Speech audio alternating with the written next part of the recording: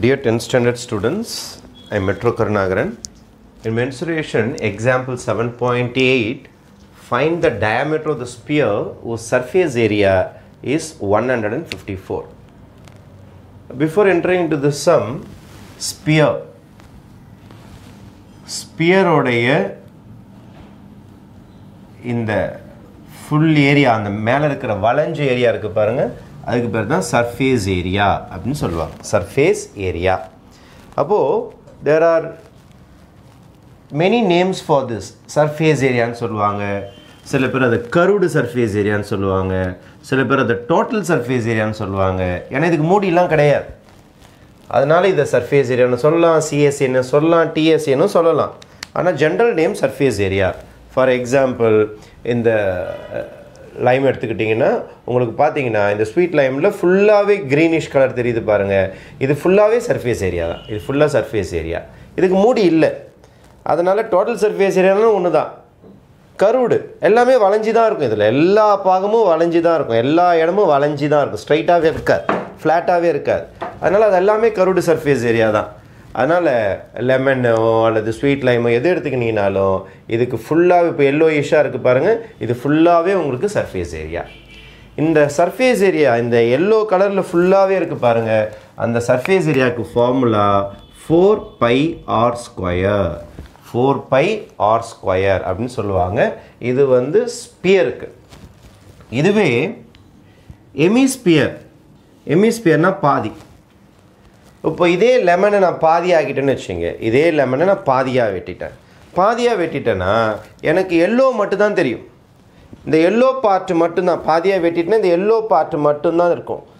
அல்லது இந்த brownish part மட்டும் இருக்குதுன்னு வச்சுங்க அப்போ இந்த பாதியாக வெட்டிட்ட பிறகு கீழே மட்டும் இருக்கிறதுனால பாதி தானே அதில் அப்போது பாதி இருக்கிறதுனால இதுக்கு பேர் சர்ஃபேஸ் ஏரியான்னு சொல்ல மாட்டாங்க. ஏன்னா மூடி இருக்குது.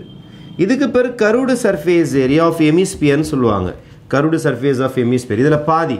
ஃபோரில் பாதி என்னது? டூ பை ஆர் ஸ்கொயர் அப்போது ஃபுல்லாக ஸ்பியராக இருந்தால் it is call surface area ஆனால் பாதி எலுமிச்சம் பழம் அல்லது பாதி சா சாத்துக்கொடியோ ஸ்வீட் லைமோ வெட்டிட்டிங்கன்னா it becomes curved surface area of hemisphere இங்கே சர்ஃபேஸ் ஏரியான்னு சொல்லக்கூடாது கருடு. ஏன்னா வளைஞ்ச பகுதி.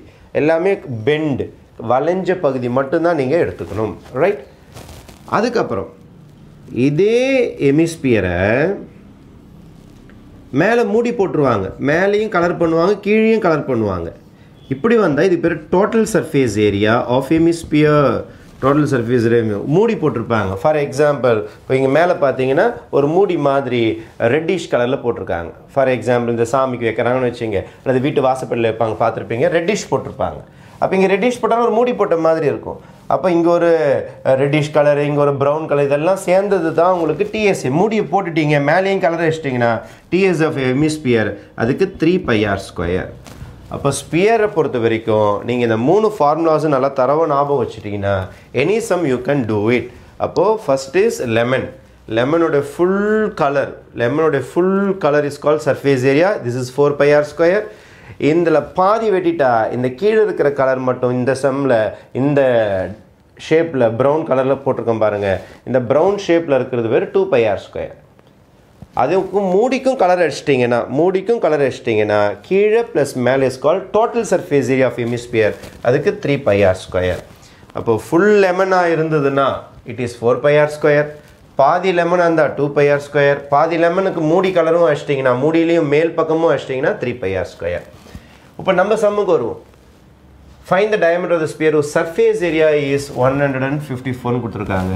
அப்போ திஸ் சம் இஸ் ஸ்பியர் அப்போ ஹெட்டிங் வந்து நான் ஸ்பியர் போட்டுறேன்.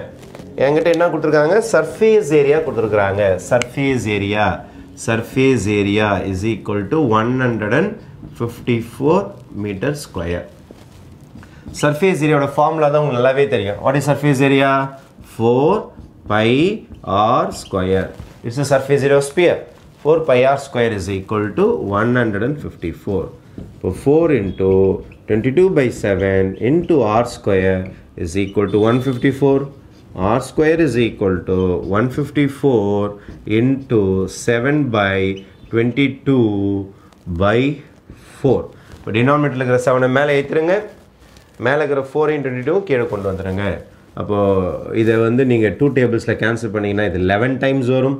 இதை டூ டேபிள்ஸில் கேன்சல் பண்ண seven times fourteen again seven times இதை கேன்சல் பண்ணிங்கன்னா செவன் டைம்ஸ் இப்போ r square is equal to seven sevens are forty nine by four forty nine by four divide பண்ணாதீங்க டெசிமலில் வந்துடும் r is equal to square root of forty nine by four எப்படி sir square root வந்து square அந்தாண்ட போச்சுன்னா square root ஆகிடும் forty நைனுக்கு ஜோடி இருக்குது. ஃபார்ட்டி நைனுக்கு ஜோடி செவனு ஃபோருக்கு ஜோடி two centimeter this is my radius seven by two centimeter is my radius அவங்க என்ன கேட்டிருக்காங்க? டயாமீட்டர் கேட்டிருக்காங்க. Diameter டயாமீட்டரோட formula two times radius two times radius two into seven by two two two cancel பண்ணிட்டீங்கன்னா seven centimeter will be your final answer small correction this is not centimeter actually this is meter okay this is meter ஏன்னா நம்மளுக்கு செம்ம எல்லாமே meter square இருக்கனால seven by two meter and seven meter is your answer okay